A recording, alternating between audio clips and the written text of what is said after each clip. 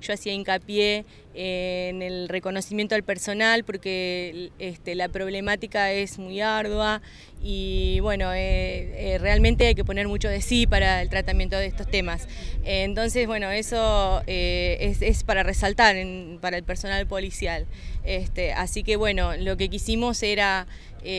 mostrar nuestros sentimientos, qué nos pasó en el transcurso de estos cinco años. arrancó la comisaría, este, yo siendo soy la titular desde que se, este, se creó y bueno, fueron cinco duros años que tuvimos que ir este, aprendiendo cosas eh, y a la vez eh, brindar un servicio, eh, relacionarnos con el resto de las instituciones y todo lleva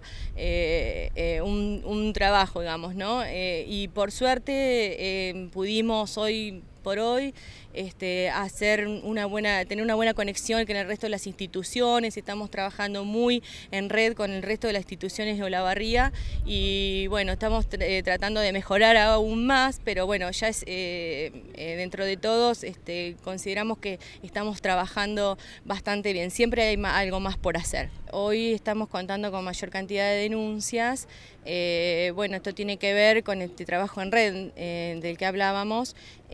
la comisaría eh, sola no puede en realidad este, dar respuesta, eh, así que eh, estamos trabajando mm, con el resto de las instituciones, estamos conformando una mesa local de violencia donde intervenimos todos los actores de la barría y mm, este, las denuncias se han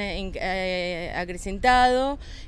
pero bueno, tenemos una buena respuesta, estamos trabajando bien en cuanto a las respuestas a las víctimas. Este caso de que se denuncie más tiene que ver con la contención que se le brinda, tal vez eh, con la creación misma también de las comisarías de la mujer para eh, tratar de facilitar y de que la víctima se sienta eh, más acompañada en esta denuncia. Sí, seguramente. por eso es la diferencia que siempre resaltamos de nuestra comisaría, que contamos con nuestro equipo interdisciplinario, que es sumamente importante, que porque la víctima eh, tiene un lugar para poder asesorarse, para ser contenida, que antes eh, no lo tenía. Eh, lo que es a nivel policial es sumamente importante, de hecho se le está dando mucha importancia, se están creando muchas comisarías y eso está bueno porque es un lugar específico para la violencia familiar y el abuso y son delitos, como antes decía, muy, muy fuertes para la integridad y para los sentimientos, entonces